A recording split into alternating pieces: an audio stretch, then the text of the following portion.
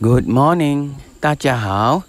Okay, just to show you, uh, when we were climbing up the Bukit La Road in the afternoon, uh, we saw uh, fruits. This is uh, like something like a petola at the base of this slope.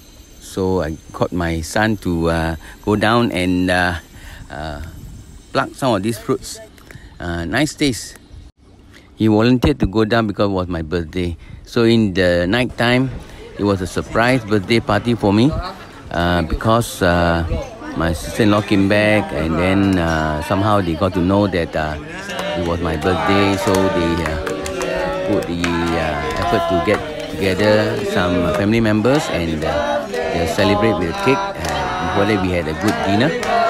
So it was a surprise and it, it's seldom that we celebrate birthday like this so uh, family members and uh, with uh, uh, in the restaurant we celebrate with the, this uh, secret recipe cake.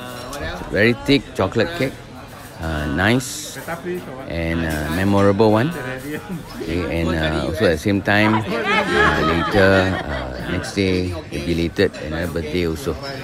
So thank god for providing all the provision and protection and all the blessings to see all your family members all doing well and all the uh, even during this pandemic uh, we are always healthy. Thank god uh, we cannot take things lightly and uh, appreciate uh, all the good health all the uh, many good things that come our way.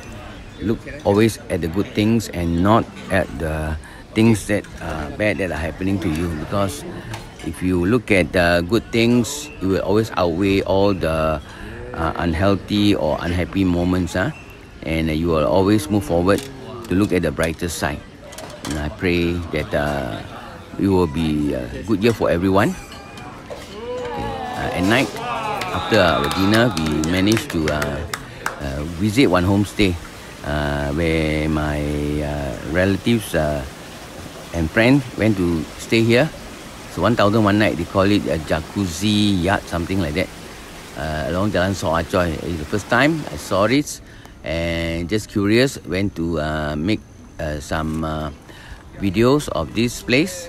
They have a outside uh, barbecue and uh, uh, what they call garden for uh, uh, guests to use and uh, it's a bungalow house about 10,000 square feet. Uh, got ample parking, about five cars. Inside is uh, very nicely done, uh, simple and fresh, uh, mostly all white. You can see uh, it's quite suitable for a family of 15. Just uh, out of curiosity, see how they actually furnish it. Uh, five bedrooms and three baths.